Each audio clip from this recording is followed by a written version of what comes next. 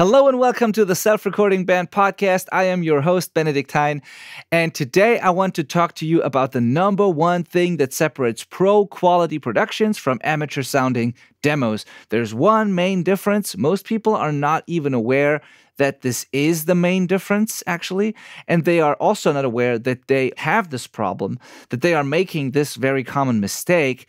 And so I don't want you to be one of those people, and I don't want you to make this very common mistake. So I want to tell you what it is, what this main difference is, what to do about it if you have this problem, how to fix it, and I want to present a solution for you to fix this as well. So, if you are new to the show, welcome. So stoked to have you. Thank you for checking the show out. If you are already a listener, welcome back. Thank you for joining us again today. Usually, I am here with my co host, Malcom Owen Flood, but he can't be with us today, so I'm doing this on my own. This will be a shorter episode because of that, but it will be very valuable nonetheless hopefully at least. so I've prepared something that I think will help you make better sounding records, improve your production quality significantly if you follow the advice that I'm giving you today. And uh, yeah, because I'm alone, there's no banter. Let's dive straight into this episode, I think. So that number one difference, what could that be? Let me start with a question. How do you know that a song was not produced by a professional? How do you immediately know that? You know it because the song probably has sloppy performances, obvious mistakes that don't really help the feel or the vibe of the song, and it probably has a groove that just doesn't feel right.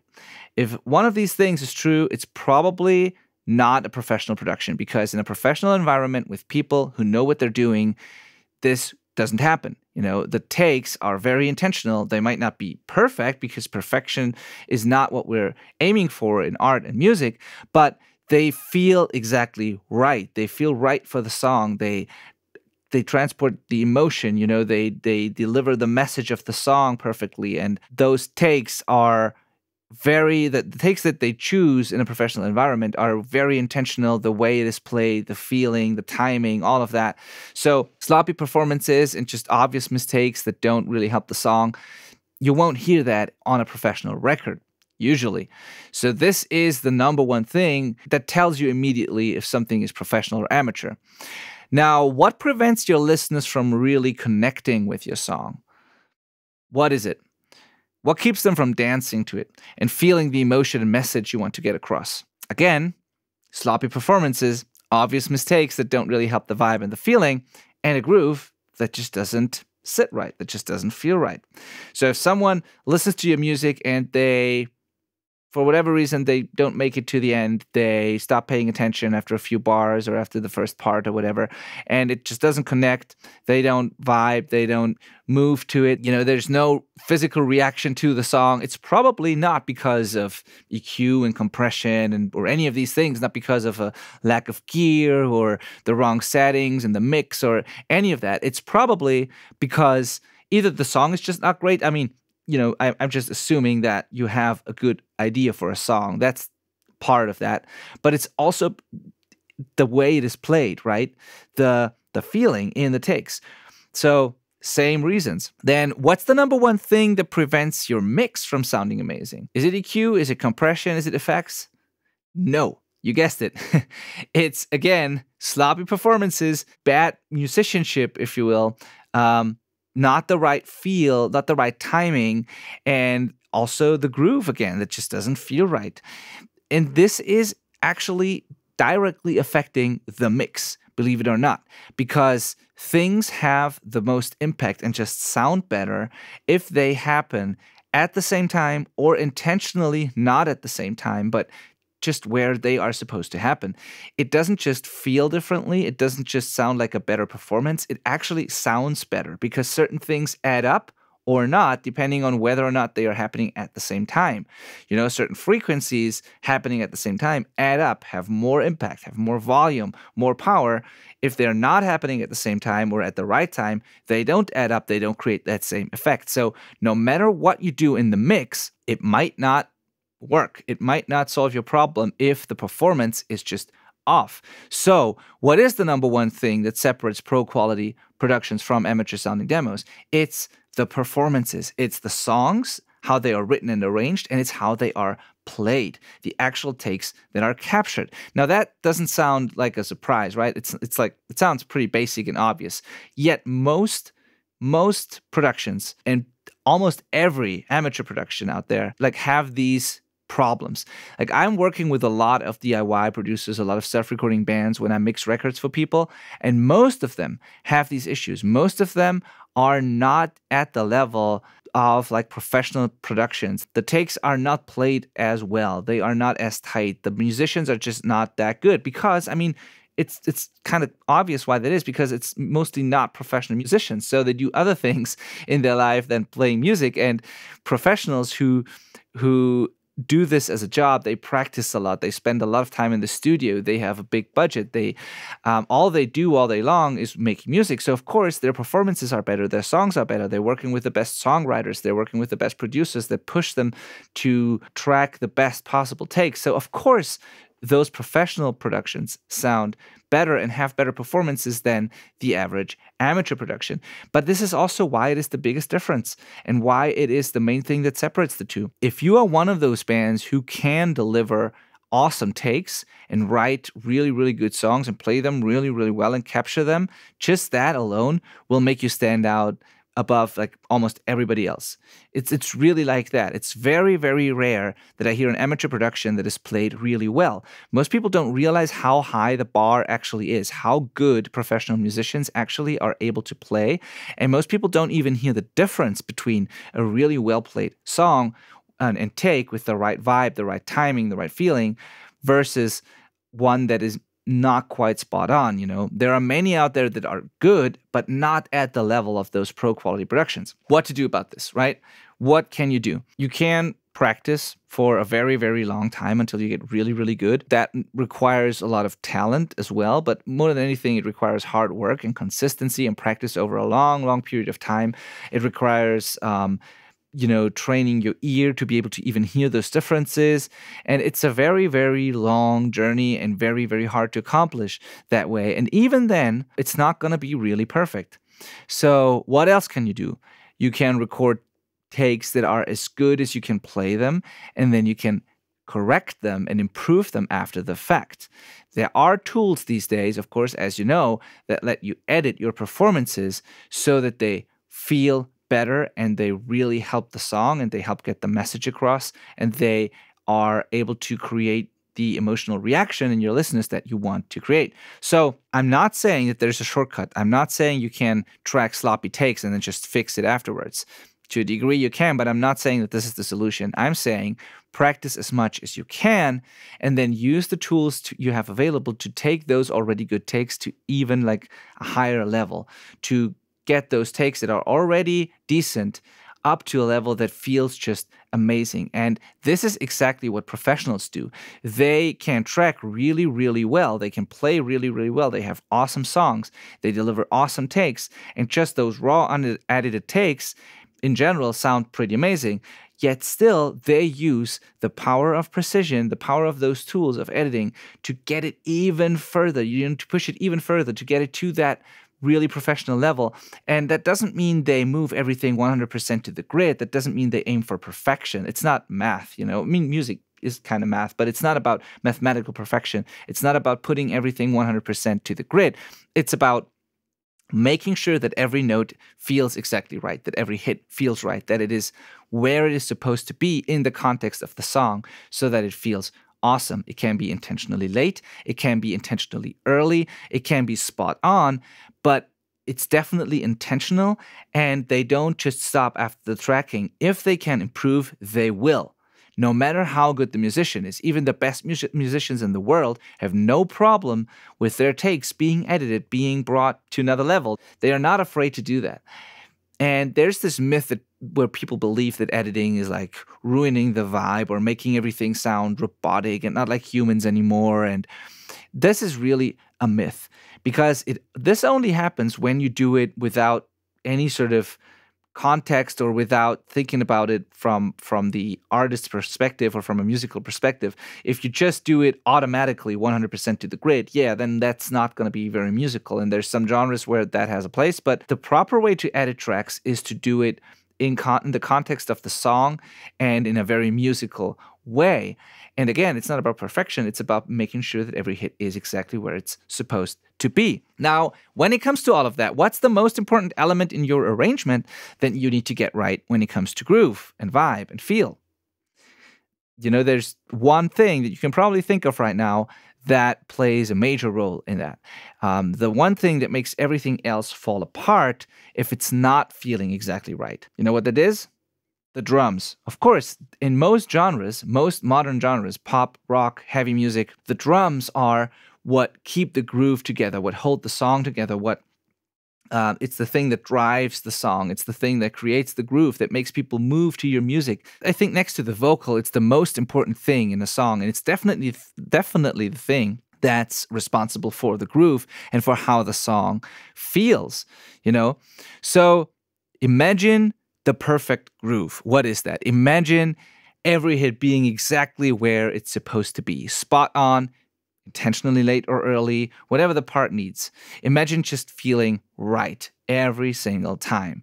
Imagine a rough mix that already sounds better than all of your previous final mixes without a single active plugin. Is there such a thing? Yes, there is, because I bet if you pay attention to what I'm telling you right now and if you make sure you capture the best possible takes and then use editing tools available to make it even better and to make it feel exactly right, even if it takes you a lot of time and even if it feels like a very unmusical thing to do, or even if you're afraid of it because you think it's like cheating or whatever. Just imagine doing that. Just imagine making sure that every note is exactly where it's supposed to be, how that would feel. Even just a rough mix with proper balances, tones that kind of work. Um, a good song, good arrangement, played really well. Everything's where it's supposed to be. Not a single plugin active. Imagine what that would sound and feel like. And then compare that to a mix where you use all kinds of tricks and plugins and sounds and, you know, all these things. But it's just not feeling right. It's a little too rushed or it's a little too far behind, not together. It's like a sloppy performance. Which one do you think sounds more professional? definitely the one that is played well. Put one microphone in a room with a lot of professional musicians, with like a couple of professional musicians, not a lot, a couple of professional musicians in a band. Put one microphone in that room and let them do their thing and just record it the way it is, even just a phone, and listen to that and lis- listen to what that would sound like compared to musicians that are not playing that well, that are um, having problems, you know, delivering the right feel. They are making the odd mistake here and there. It just is not a professional performance. But then you can you're free to use all kinds of microphones and processing and mixing techniques and, and eh, whatever you can imagine. And then you compare the two. Imagine what the first one would sound like and what the second one would sound like. And definitely the one with one mic in a room full of professional musicians would sound 10 times better than the other performance with all the tools and all the gear and all the plugins and all the mixing techniques, but it's just not played really well, right? Now, think about what you can do to get to that sort of level. Imagine like having full control over the vibe and feel of any song you work on. As I said, you could do it by practicing a lot, and that's definitely part of it. But imagine having, in addition to those very well rehearsed songs, having a toolbox that allows you to take full control over the vibe and feel, that allows you to just push it a little bit further, to make it a little bit better, to bring out the best of, out of these performances, and to make sure that everything is feeling exactly right. You know, you're sitting there in your in your jam space or in your home studio, and you feel like, hmm, this part is a little late. You know, I might I might bring that a little, you know, more to the left, see how that sounds like. And you just do it and it clicks and it just works. Or imagine um, you have a part that's spot on, it's played well, but you want it to feel a little more heavy, a little more thick, you know, a little you know laid back or um, not as rushed so that it has a different kind of vibe a different kind of impact imagine just doing that like imagining that and then just being able to do that on the spot you just click a few buttons and it does exactly that. It's a little laid back, it sounds heavier, it has the right vibe. Um, imagine having a drum fill where you feel like the drummer should pick it up a little bit. It's like supposed to be rushed a little to get the right, you know, feel to to get the um, a little more, you know, aggression and energy into that transition. Imagine being able to just do that without having to think about it a lot, without wondering how that, how you would actually do that, you know? Or imagine you have a part that is not really spot on, it is late or rushed, and it needs to be super tight and spot on for it to work. And so um, maybe after that comes a part that is supposed to feel a little more loose. And now you need that one part to be super tight and the next one a little looser. Imagine being able to just do that on the spot without having to think about it. It is all possible. Imagine having a really great musician in the room and they play a perfect take and there's just this one note that is just not completely right and you can you can say to them, "Hey, I love this take. It was absolutely fantastic. Um, now let's just improve this one section here, this one note, or these two hits here, and then it's going to be perfect. Don't worry about it. I got you. I'm going to fix this real quick, and we're done because the rest of the take was fantastic. Imagine being able to just do that quickly, intuitively, on the spot. It is all possible. Unfortunately, though, that is not the reality right now for most home studio producers and DIY musicians. Your situation right now and the things that you're telling yourself probably sound more like this. You know, you you're probably sitting there and being like, mm, "Yeah, I know it's not the best take, but it will probably it will probably do. Nobody will notice, especially when it's mixed. You know, it's probably not going to be that obvious." The truth is, people will notice. It's gonna be obvious no matter what you do in mixing but you don't know how to fix it. You don't know what to do about it. And you're not even sure if it's that bad. So you're kind of hoping that it will work out. And I can tell you already, it doesn't. It won't work out. Or maybe you told yourself before that all your favorite records have sloppy performances and are not perfect. And they are, uh, the mistakes are what makes them great, you know. This is a myth. It's a typical amateur excuse. Those records are great despite the mistakes, not because of them. Also, there's a very big difference between feel and obvious mistakes. If those records are not perfect, and it could they could very well be that they're not perfect, then it's intentional. It's not just something that they somehow let happen and then it just worked. You know, it's intentional. Or it is just a minor thing and not an obvious mistake. And maybe you don't have the experience yet to tell the difference between an obvious mistake and a minor, not mistake, but a you know these tiny differences that actually make something human.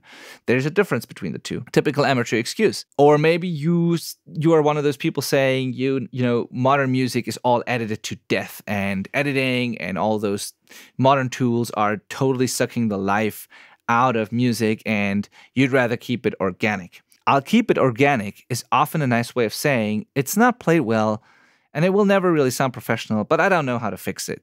And so no professional really does that. Of course, nobody wants robotic music unless it's part of the genre. But that's, again, not the goal here, not the goal of editing. Most people who say, I'd rather keep it organic, just really don't know how to fix it. And they really, they don't want to admit that something's wrong. So they just pretend that it's intentional and they are fighting the modern tools and the editing because that is what kills music. You know, this is just an, an excuse in almost all cases. It's not black or white. That's what I'm trying to say here. Editing doesn't mean moving everything 100% to the grid. Editing has to serve the music. Now, another thing that a lot of you are probably struggling with right now is I've tried this is you now t- talking to yourself. You know, you're sitting there and you're like, I've tried fixing this for hours. No matter what I do, you know, I just can't get it right. It always seems like I'm introducing a new problem every time I try to fix something. Um, I can't solve the original one. I'm just introducing more problems. And the reason for that, if that happens, is that you don't know your tools well enough and you don't have a systematic approach to editing yet. You're wasting time using a trial and error approach without really knowing what you're doing. This is the reality for most people. You just don't know the tools that are actually available. And I can't blame you because those tools are pretty complex. They are there's so much to to learn and to figure out and every DAW is different and you know you actually just want to make music. I get it. You just want to create music. You don't want to sit there and become like a, a, a specialist in like all these tools and editing and, and all the stuff in the computer. You just want to play your instrument and, and play music with your friends and make art and and touch people and all the technical the whole technical side of it is just a, a means to an end and and you don't want to waste uh, most of your time trying to figure out these these tools so i absolutely understand that yet it is still holding you back so you need to find a quick way to learn those tools, just the stuff you need to operate them intuitively and to just make them a part of the creative process. You know, the final sort of what what I would what I would call typical amateur excuse is if you're telling yourself that a good performance is all you need, right? A good player delivering an amazing take doesn't need any editing. Again, another typical amateur excuse. Every professional knows that even the best musicians in the world get their performances edited you know, not every time, not as a rule, but, you know, and, and certainly not to compensate for a lack of talent. But it's done whenever the final result could feel even better than it already does. You know, whatever it takes, they do whatever it takes to get it to feel just right. And this is the mindset. This is how professionals approach creating music because what matters is that the, in the end, when someone hits play and listens to your song, that they are blown away, that they are emotionally you know touched and that moved and that they that they they they themselves move to your music that they react to it that they tell their friends about it that, they, that it makes them cry it makes them happy or it gives them energy or you know that is the goal and how you get there doesn't matter and if even the best musicians in the world are not able sometimes to to deliver that 100% and it's totally fine because we have tools that can help with that and why not use them why not use them to create the best art? If you would be able to play it exactly right, you would do it, right? You would, would be able to to deliver the perfect take exactly the way you envisioned it, you would do it. You wouldn't intentionally sabotage yourself and be like, oh, I'm just going to play this at 80% because if I play it too well, it's not going to be good. No, you would play it exactly right, exactly the way you feel it. And if you can't do that, 100%, then why not get those final 5 or 10% with editing or even that final 1% with editing? You know, why would you sabotage yourself if you have those tools available? Maybe you're one of those people who know how to cut and move things, to do crossfades, but you know, doing this for an entire song or album worth of drums is like taking forever and it seems ridiculous to you. You know, on every hit, you do manual, manually cutting, pasting, or cutting and moving and fading in and fading out and doing crossfades and all of that. You know, it's like that's going to take forever. Who's got time for that, right? So maybe you're one of those people who know the basics of editing, but you don't know about like systematic approaches and, and automatic processes that significantly speed up the whole editing thing. And you're wondering how how the hell do professional engineers get this done? How can they edit an entire album in like a day or an entire song within like an hour or two, like an entire song worth of drums? You know, how can they do it in between recording sessions while the artist is like, you know, setting up their the the next song or whatever? Or I don't know, like this is people do this all the time.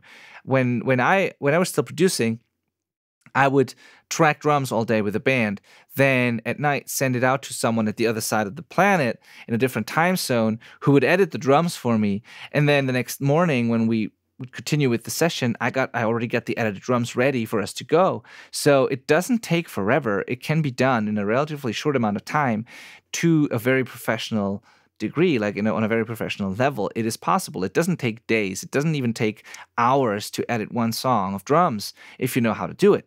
Now, if any of those things sound familiar to you, if you've been telling yourself any of those things and you are looking for, for a solution to any or all of these right now, then I want to present a solution to you. And that solution is called editing and drum editing in particular, because drums are the most complex instrument when it comes to editing, in, in most genres at least. There's a lot of moving parts, many things that can go wrong with drum editing. Also, if you master drum editing, you can almost edit everything else too. There's specifics to different things, but the when it comes to timing editing, if you can master drums, you can probably do the rest to to degree at least. And if you can master drum editing, you'll definitely know how to use editing tools. So the solution is called drum editing. It's called um, editing in general. It's called learning your editing tools. That is what you need to be able to do. It's learning a process. It's learning what to listen for, and the way to speed all of this up significantly, and a solution that will save you a lot of time and headache and frustration is called Dead on Drums. This is a training that we've developed at the Self Recording Band. We call it the Drum Editor's Toolbox. And this is specifically made to to to solve these problems, to help you get tracks that feel right, that get the emotion across, that help that that are where like every note every hit is exactly where it's supposed to be and it's it's built and designed to help you understand the editing process and the tools you have available and it's it's the best thing that we could come up with to help you with that. We call it the Drum Editor's Toolbox. It's there to help you use the power of precision to edit your drums for maximum impact without killing the vibe, which is very important for us. And it's a complete online video training that you can go through at your own pace. And it shows you everything you need to know about editing drums. And it gives you the exercises and training material to practice it until you are 100% confident about your editing skills. Now, here's how this training works um, you watch the videos at your own pace, you apply what you've learned in those videos, and then you practice and experiment with the multi-tracks that we provide you with and with the guided exercises that come with that course. Now everything else, all the details about this training, about this program are on a page, the selfrecordingband.com slash dead on drums. If you go there, you can check out all the details. You can sign up for this training right now. It is the number one thing out there, I think, when it comes to editing drums. It's the best thing you can do to learn how to edit drums. It's taught by Thomas Krottenthaler, our very own Dr. Drums, as we call him. He's been on the podcast before. He's a professional audio engineer and drummer. He's working with me here at Outback Recordings at my studio. He specializes in editing, session drumming, and drum programming. He's freaking amazing at those things, partly because of his incredible talent, but also partly because of his background as a professional drummer and uh, drum teacher. So he's the perfect teacher for that. Since 2019, he's worked on hundreds of songs for artists and labels from all around the world. And now he's here to share his experience and knowledge with you. So if you are ready to become a drum editing wizard, go to the selfrecordingband.com slash dead on drums.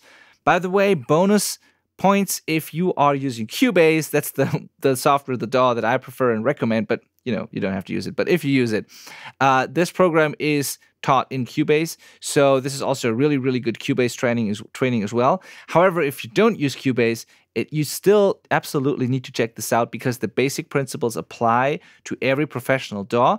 You need a fully featured professional DAW to really be able to up to implement all of it because you know some of these advanced editing tools uh, are not available in like the lower tier DAWs or in like some of the free DAWs. But if you are in Logic, in Reaper, in Pro Tools, in Cubase, in uh, what else is there? You know the, the you know the the basic main DAWs, uh, then you can absolutely apply those things, and you can level up your drum editing skills significantly. And while doing that, your general editing skills will just be improved as well, and everything else that you'll edit will be much easier as well. Um, while you, when you sign up for it during checkout, you'll be asked to add a vocal tuning masterclass to your order. If you do that, you get a complete package. You'll learn how to edit drums, and then you also learn how to tune vocals. Those skills, by the way, you can also apply to tuning bass and uh, you know pitch correction in general. And those two together almost cover everything you need to know to really be able to edit your songs. And I hope this episode made you a little less afraid of editing in general, made you more open to the idea of editing your songs. I hope I could show you that this is a very musical and creative thing and not something that is killing the vibe necessarily. It's not supposed to. Even the best in the world use it. There's no need to be afraid of it. There's no need to be against it. It's nothing bad. And you just need to do whatever you need to do to make your songs connect with your listeners. That's that's my opinion. That's why I wanted to make this episode. That's why we created this program, this course. And again, if you want to check this out, go to the selfrecordingband.com slash dead on drums. Now, I know this is sort of a controversial topic, and I know that some of you are like, nope, I'm not interested. I don't want to edit. I'm like all about the organic vibe and whatever. And you still believe the things that I called like amateur mistakes. If that is you, I'd love to hear from you. I'd love to have a discussion. Go to the selfrecordingband.com slash community. And when we post this episode there, just comment below or just open up a new thread there and uh, and tell me what you think about this and let's discuss because I'm always open for other perspectives I, I, just love having a good discussion inside our community. So let me know if you took the program and found it valuable. Also, feel free to share your experience in the community and tell others about it. Uh, I'd love to hear from you. I'd love to discuss this further. And I would really, really love to raise the bar overall for DIY productions, for the, the home studio music that is being produced, because I really feel like most people are not you know making music to to their like full they're not using their full potential. They're not making their music as good as it could be. And that's a shame and i would love to hear more of those amazing songs actually feel amazing too, because that is still not the case yet.